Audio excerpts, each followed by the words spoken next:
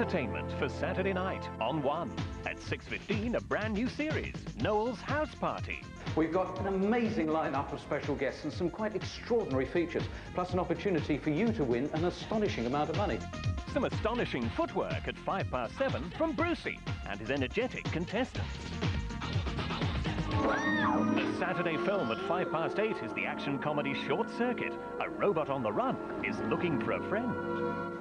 You're making me breakfast, aren't you? Pancake surprise.